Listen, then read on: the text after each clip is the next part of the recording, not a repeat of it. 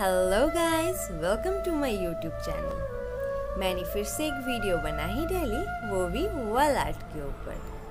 पहली वाली राधा कृष्णा इनकम्प्लीट था, पर इस वाली वीडियो में मेरी ये राधा कृष्णा तैयार हो चुकी है। तो वीडियो को एंड तक देखिए और मेरे चैनल को लाइक शेयर एंड सब्सक्राइब करना मत भूलिए।